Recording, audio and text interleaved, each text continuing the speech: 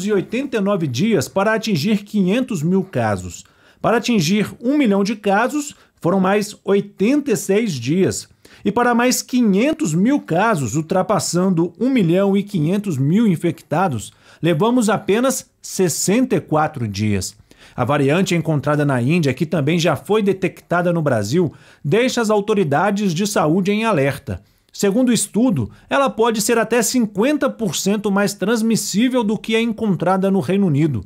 O alerta vale principalmente para Belo Horizonte, que vinha registrando tendência de queda no registro de casos de Covid-19 e passou a apresentar tendência de estabilidade dos números nas últimas semanas, em patamares muito elevados, de acordo com dados do boletim Infogripe da Fundação Fiocruz. Estamos com um volume de casos muito grande, consequentemente, um volume de internações também muito grande, né? e, finalmente, óbitos também muito grande. Né? E a gente tem que lembrar é, a gente está ainda num cenário de que as internações associadas à Covid, cerca de 30% delas acabam evoluindo para óbito, ou seja, a cada três a quatro é, hospitalizações em decorrência da Covid, um desses pacientes vem a falecer, mesmo tendo leito.